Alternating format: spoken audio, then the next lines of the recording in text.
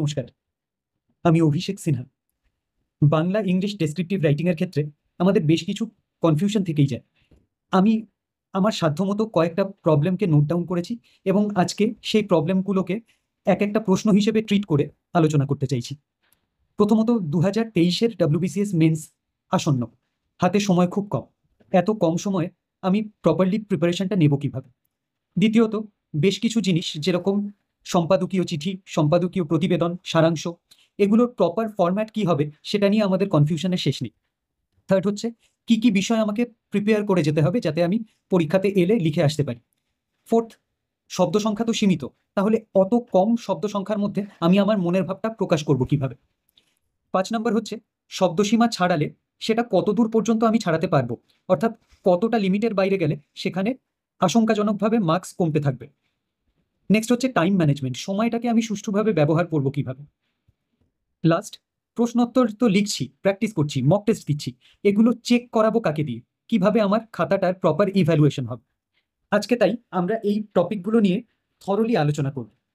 চলো, শুরু করা যাক। প্রথম টপিক এত কম সময়ে কীভাবে অনুশীলন করব? আমাদের হাতে আর মেরে কেটে ষোলো দিন। আর দুটো দিন আমি রাখছি রিভিশনের জন্য। তাহলে ষোলো দিন আমি যদি অল্টারনেটিভ ডেতে বাংলা আর ইংলিশ করি, আট দিন আমি বাংলা করব, আট দিন ইংলিশ করব। তোমরা চাইলে এক এক দিনে বাংলা ইংলিশ দুটোই করতে পারো। এটা সম্পূর্ণ তোমাদের ইচ্ছাধীন এটা আমি আমার পার্সপেক্টিভ বলছি। এটা যে করতেই হবে এমন কোনো বাধ্যবাধকতা অবশ্যই নেই। এবারে অল্টারনেটিভ ডেতে তো বাংলা ইংলিশ করছি। আমাদের বাংলাতে পাঁচ ধরনের প্রশ্ন আসে, সেগুলো আমরা জানি। বঙ্গানুবাদ সারাংশ, প্রতিবেদন, চিঠি, বোধ পরীক্ষণ। এদের মধ্যে প্রতিদিন অন্তত দুটো করে কোয়েশ্চেন আমাকে অ্যাটেন্ড করতেই হবে, কারণ সময় নেই। এখানে যেহেতু বঙ্গানুবাদ এবং সারাংশ কম টাইম কনজিউমিং এখানে আমি দশ মিনিট দিতে পারি। দশ মিনিট দিলেই একটা সারাংশ বা বঙ্গানুবাদ করে ফেলা যায়। এরপরে বাকি যে তিনটে রয়ে গেল, তার মধ্যে হয় প্রতিবেদন, না হলে চিঠি, না হলে বোধ পরীক্ষণ, এক একদিন এক একটা কম্বিনেশন করে এগিয়ে চলা যায়। তাহলে আমি বলতে চাইছি ডে ওয়ানে আমি ধরা যাক ট্রান্সলেশন আর রিপোর্টিং করলাম। ডে টুতে করলাম প্রেসি আর লেটার ডে থ্রিতে আবার করলাম ট্রান্সলেশন প্লাস কম্প্রিহেনশন। এরকম কম্বিনেশন করে আমরা এগিয়ে চলতেই পারি, তাই না? চলো। নেক্সট হচ্ছে সারাংশ বঙ্গানুবাদ সম্পাদকীয় প্রতিবেদন সম্পাদকীয় চিঠি। এখানে ফরম্যাট নিয়ে আমাদের কিছু কনফিউশন থেকে যায়। বাজারের স্ট্যান্ডার্ড বেশ কিছু বই ঘেটে এবং কিছু পরীক্ষা দেওয়ার সুবাদে আমি যেটা ফলো করি, সেটা আমি তোমাদের সাথে একটু শেয়ার করতে চাই। সারাংশ দিলে অবশ্যই শিরোনাম দেওয়া বাধ্যতামূলক এবং আমরা অনেকে আবেগের আতিশয্যে শিরোনাম লিখে তার তলায় আন্ডারলাইন করে ফেলি। সেটা একদম ডিজায়ারেবল নয়। শিরোনাম দিয়ে সেটাকে এমনি রেখে দেবে, তলায় কোনো আন্ডারলাইন দেওয়ার প্রয়োজন নেই। এবং যেটা আমরা সবাই জানি, মূল বডিটা যত অক্ষরের হবে, তার মূলত ওয়ান থার্ড রাখার আমরা চেষ্টা করব। ধরা যাক, নব্বইটা ওয়ার্ডের যদি আমার পিস হয়, তাহলে আমি এটাকে তিরিশটা ওয়ার্ডের মধ্যে ধরানোর চেষ্টা করব। এবারে একদম তিরিশটা ওয়ার্ডে পিন পয়েন্ট করে শেষ করাটা তো ভীষণ মুশকিল এবং হবেও না। হয়তো কিছু কম হবে, কিছু বেশি হবে। প্লাস মাইনাস পনেরোটা শব্দ আমার মনে হয় কনসিডারেবল ফলে এইটা তারা ক্ষমা করে নেন। অর্থাৎ আমি বলতে চাইছি, প্রেসিটা তুমি পনেরোটা শব্দ এদিক ওদিক করতে পারো। এবং এখানে আমাদের যেহেতু বেশিরভাগ পরীক্ষাতেই প্রেসির শিট দেওয়া হয়, সেখানে শব্দ সংখ্যা মেজার করা থাকে। এখানে ফাঁকি দেওয়ার কোনো উপায় নেই। আমরাও চেষ্টা করেছিলাম, কিন্তু উপায় বন্ধ। ফলে প্রপারলি আমাকে কাউন্ট করেই লিখতে হবে। এবং এক্সামিনার একদম এক ছলক দেখেই বুঝে যাবেন তোমার কটা শব্দ হয়েছে। নেক্সট হচ্ছে বঙ্গানুবাদ। বঙ্গানুবাদের ক্ষেত্রে আমরা মাঝে মধ্যে যে সমস্যাটায় পড়ি, কিছু শব্দ এমন চলে আসে যেগুলোর বাংলা অর্থ আমার জানা নেই। এতে ঘাবড়ানোর কিচ্ছু নেই, কারণ আমাদের অনুবাদটা ভাবানুবাদ মানে একদম ওয়ার্ড টু ওয়ার্ড আক্ষরিক বাংলা করতে বলা হচ্ছে না। বলা হচ্ছে গোটা পিসটার থিম বুঝে তুমি সেটাকে বাংলায় অনুবাদ করো। ফলে একটা দুটো শব্দ যদি নাও আমরা অর্থ জানি তাহলেও আমরা সেটাকে ঘুরিয়ে লিখে অ্যাডজাস্ট করে দিতে পারব এবং তাতে মার্কসে কোনো ইম্প্যাক্ট পড়বে না। তোমরা নিশ্চিন্তে থাকতে পারো। নেক্সট হচ্ছে সম্পাদকীয় চিঠি। সম্পাদকীয় চিঠির একদম ডান দিকের উপরে থাকবে ডেট এবং বাদিকে যে সংবাদপত্রের সম্পাদকের কাছে আমরা চিঠিটা লিখছি, তার অফিস অ্যাড্রেস আমি ইউজুয়ালি আনন্দবাজার পত্রিকা অ্যাড্রেস করে লিখতাম। সেখানে আমি এইভাবে লিখেছিলাম, মাননীয় সম্পাদক সমীপেশু আনন্দবাজার পত্রিকা, ছয় প্রফুল্ল সরকার স্ট্রিট কলকাতা, সাত লক্ষ এক। এরপরে আসবে বিষয়। বিষয়টায় তুমি কিছুটা নিজস্ব মুন্সিয়ানা দেখাতে পারো। কারণ ফ্ল্যাট টপিকটা তো প্রশ্নে বলাই থাকে। এখানে যদি তুমি তোমার মতো করে একটু বিষয়টাকে কাস্টমাইজ করতে পারো, সেটা দেখতে ভালো লাগে এবং পড়ে তারা সুখ পান তারপরে আমরা যেটা জানি, একটা ফর্মালিটির ব্যাপার, সবিনয় নিবেদন। আমি আপনার বহুল প্রচারিত দৈনিক পত্রিকার একনিষ্ঠ পাঠক এবং আমি একটা নির্দিষ্ট বিষয় নিয়ে কনসার্ন তাই আমি আপনার নজরে আনছি ব্যাপারটা। এবং এই জায়গাটা একটু ছোটোর উপরেই রাখার চেষ্টা করব। তারপরে শুরু হবে আমার অ্যাকচুয়াল বডি এখানে বলে রাখা ভালো, চিঠি মোটামুটি দেড়শো শব্দের মধ্যে লিখে ফেলতে বলা হয়। তাহলে এটার মাপ মোটামুটি এক পাতা। ঠিক আছে? এইটা আমরা যদি মাথায় রাখি, আমাদের ভালো হবে। এবং চিঠিতে একটা ইম্পর্টেন্ট ব্যাপার হচ্ছে, চিঠিতে যাতে আমাদের কারও আইডেন্টিটি ডিসক্লোজ না হয়, সেই জন্য ক, খ, গ বা এক্স ওয়াই জেড এইগুলো লিখতে বলা হয় নাম বা ঠিকানার জায়গায়। ফলে এই জায়গাটায় কিন্তু আমাদের খুব খুব খুব কেয়ারফুল থাকতে হবে। কোনো মতেই যেন আমরা নিজস্ব নাম রোল নাম্বার, পরিচয়, ঠিকানা কিচ্ছু ডিসক্লোজ না করি। কেমন? নেক্সট সম্পাদকীয় প্রতিবেদন। এইটা নিয়ে অনেক সমস্যা থাকে। এটা কিচ্ছু না। সম্পাদকীয় প্রতিবেদন মানে আমরা ধরে নাও একটা এসেই লিখছি। এখানে তোমরা একটা শিরোনাম দেবে এবং শিরোনামটা একটু সুন্দর ক্রিয়েটিভ হলে ভালো হয়। যেরকম দ্রব্যমূল্য বৃদ্ধি নিয়ে দেওয়া হয়েছিল, আমি প্র্যাকটিস করেছিলাম এইভাবে। হাত পুড়ছে গৃহস্থের এটা খুব একটা ভালো হয়নি, আমি জানি। তোমরা নিশ্চ- নিশ্চয়ই আমার থেকে অনেক ভালো লেখো অনেকেই। ফলে তোমরা তোমাদের পছন্দসই একটা প্রাসঙ্গিক টাইটেল দেবে। এবং তারপরে একটা যদি বাস্তব উদাহরণ দিয়ে আমরা ক্রমশ পৃষ্ঠায় প্রবেশ করি, তাহলে লেখার মানটা, গুণগত মানটা আমার মনে হয় অনেকটাই ইমপ্রুভ করে। এবং এখানে আমরা যদি কোনো ইন্ডেক্স বা র ডেটা সেগুলো দিতে পারি, আমার লেখাটার ক্রেডিবিলিটি বাড়ে। এখানে যেরকম আমি দেওয়ার চেষ্টা করেছিলাম, পরিসংখ্যান অনুযায়ী এগারো মাসে রিজার্ভ ব্যাংকে বেঁধে দেওয়া সহনসীমা সিক্স পার্সেন্ট এটা তখনকার ডেটা ছিল।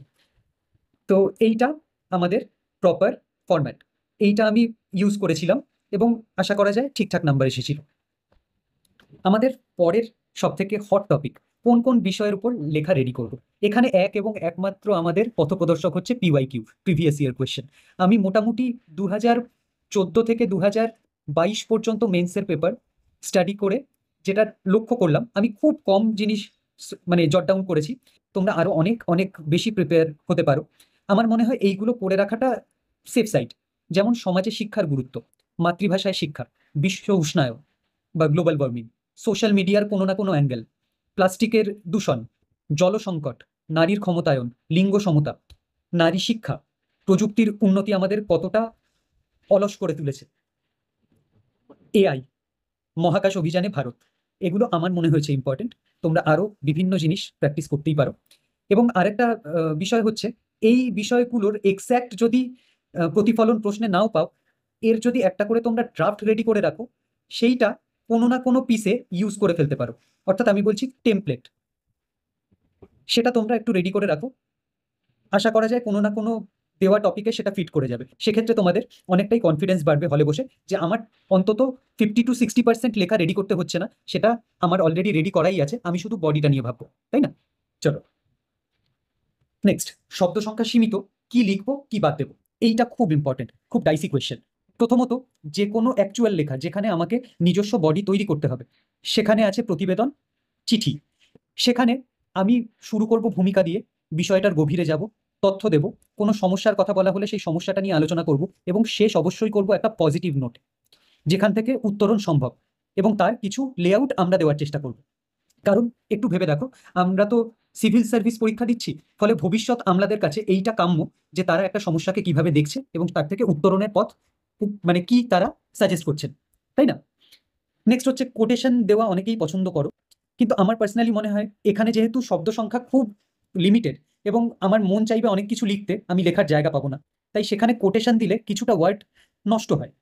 আর এতে যে খুব বেশি লেখার মান বাড়ে, সেটা আমার ব্যক্তিগতভাবে মনে হয় না।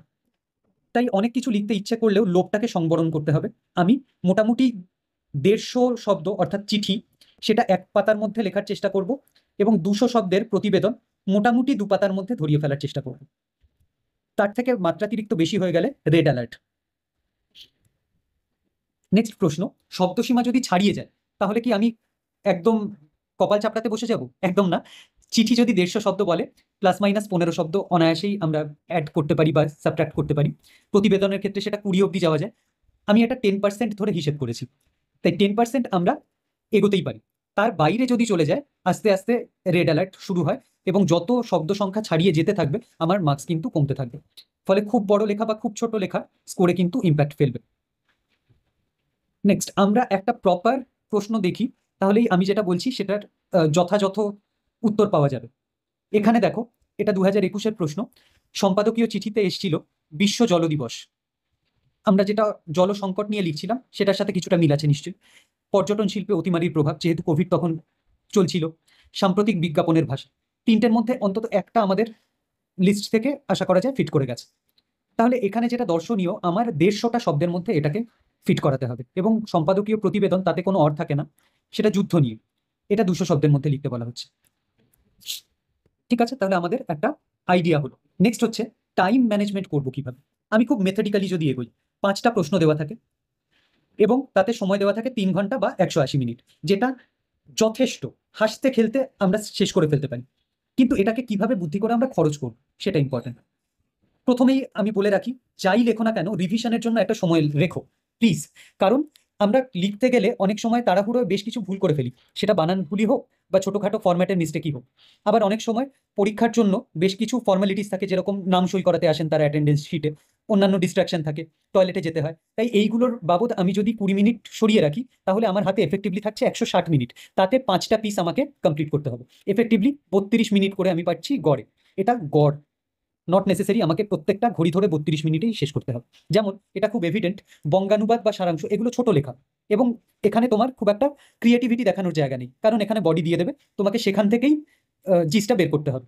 ফলে এখানে বঙ্গানুবাদটা আমরা কুড়ি মিনিটে করে ফেলতে পারি, অনায়াসে সারাংশটা পঁচিশ মিনিট লাগাতে পারি। এখানে তাহলে আমরা বত্রিশ মিনিটের থেকে কম সময় লাগাচ্ছি। এখানে সময় কিছুটা বাড়ছে। এটা আমাদের লেগে যাবে বোধ পরীক্ষণে। এখানে প্রায় পঞ্চাশ মিনিট লেগে যাবে। কারণ এখানে পাঁচটা বড় প্রশ্নের উত্তর লিখতে হয়। পাঁচটা বা চারটে কিছু একটা হবে। তাই প্রত্যেকটা বড় প্রশ্ন অন অ্যাভারেজে আমার দশ মিনিট তো লাগেই। ফলে এখানে আমাকে বেশি সময় ইনভেস্ট করতেই হবে, এটা আমি আগে থেকে সাবধান হয়ে যাব। নেক্সট লেখা তো হলো, আমরা প্র্যাকটিসও করলাম চেক করব কোথায়? দেখো সব থেকে ভালো হয়, চেনা সার্কেলে যদি কোনো স্কুলের বা কলেজের বাংলার শিক্ষক বা শিক্ষিকা থেকে থাকেন, তারা সরকারি, বেসরকারি যে কোনো জায়গারই হতে পারেন। মোট কথা তারা এই লেখাটার মধ্যে আছেন। তাদেরকে দিয়ে চেক করালে অথেন্টিক চেকিংটা হবে। এবং প্রত্যেককেই রিকোয়েস্ট করবে মার্কস দিতে। না হলে ইভ্যালুয়েশনের ফিডব্যাক নিয়ে খুব একটা লাভ হবে না। নেক্সট যাদের এই সুবিধে নেই, বাংলা শিক্ষক শিক্ষিকাদের সাথে আলাপ নেই, তারা সিনিয়র অ্যাসপিরেন্ট দাদা দিদিদের কাছে লেখা পাঠাতে পারো। এখন তো লেখা পাঠানো খুব একটা সমস্যা নয়, ছবি তুলবে পিডিএফ করবে, পাঠিয়ে দেবে। তাদেরকে একটু সময় করে যদি চেক করে নিতে পারো, আশা করি যাদের এক্সপিরিয়েন্স আছে তারা মোটামুটি মূল্যায়নটা ভালোই বোঝেন। এটাও হলো না। তাহলে গ্রুপ স্টাডি আমরা অনেক সময় বন্ধুদের সাথে মিলে করি, সেই গ্রুপ স্টাডি সার্কেলের বন্ধুদের কাছে পাঠানো যেতে পারে। তাদেরও একটা আইডিয়া হয়ে গেছে। তাও হচ্ছে না। এই কোনো অ্যাক্সেসই আমি পাচ্ছি না। তাহলে ফেসবুকের বেশ কিছু স্টাডি গ্রুপ আছে টেলিগ্রামেও আছে, সেগুলোকে জয়েন করে নেবে। এবং সেখানে এটা পোস্ট করবে। আমার লেখা এটা। যারা সিনিয়র আছেন, তারা যদি কাইন্ডলি দেখে আমাকে একটু মার্কস দেন স্কোর করে দেন, তাহলে আমি খুব উপকৃত হই।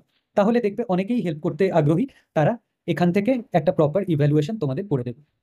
তাহলে আশা করি সবকটা টপিক নিয়েই আমি ডিটেলে আলোচনা করতে পারলাম। তবে ভিডিও শেষ করার আগে ছোট্ট কিছু কথা টিপসও বলতে পারো আমার তরফ থেকে, আমি একটু বলতে চাই।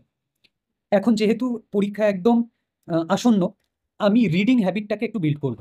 প্রতিদিন বাংলা এবং ইংরাজি একটা নিউজ পেপার পড়ব এবং তার সম্পাদকীয় পোর্শনটায় জোর দেব। কেমন? তাহলে বারবার পড়তে পড়তেও একটা ভালো আইডিয়া তৈরি হয়, ভালো শব্দ চয়ন হয়, ভালো বাঁধুনি আসে লেখার। তাই এইটা প্লিজ করো।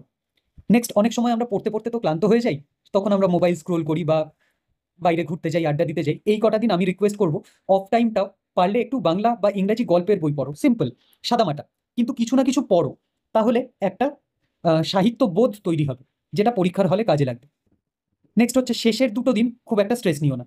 এবং ঘড়ি ধরে মক টেস্ট দাও, পুরো দুশো নাম্বারের। তাহলে তুমি টাইম ম্যানেজমেন্টটা সম্পর্কে একদম ওয়াকিবহাল হয়ে যাবে। চার নম্বর হচ্ছে এই সময়ের রোজকার সাধারণ কনভারসেশন বাবা মার সাথে বন্ধু বান্ধবদের সাথে যখন কথা বলছো, তখনও কিছু ভালো শব্দ ব্যবহার করার চেষ্টা করো। তাহলে এইটা না, তোমার মাথায় চট করে চলে আসবে লেখার সময় এবং তোমার লেখার মানটা এক ধাক্কায় অনেকটা বেড়ে যাবে। এবং লাস্ট পরীক্ষার আগের দিন একদম প্যানিক করো না, পর্যাপ্ত ঘুমাও। ঘুমটা খুব জরুরি, বিশ্বাস করো, একদম সকালবেলা উঠে পরীক্ষা দিতে যেতে হবে, অনেকের অনেক দূর দূরান্ত থেকে আসতে হবে। ফলে ঘুমটা কিন্তু না হলে পরের দিনের ধকলটা নেওয়া অসম্ভব। টানা পরীক্ষা দুটো, তিন ঘণ্টা তিন ঘণ্টা, ছ ঘণ্টার, মাঝখানে গ্যাপ দু ঘণ্টা, আট ঘণ্টা, তারপরে আমার যাতায়াতের জন্য আরও ধরে রাখো মিনিমাম তিন থেকে চার ঘণ্টা। বারো ঘণ্টা আমার স্ট্রেসের মধ্যে কাটবে। ফলে ঘুমটা যদি সাফিসিয়েন্ট না হয়, আমার ব্যাটারি তো চার্জ থাকবে না, তাই না?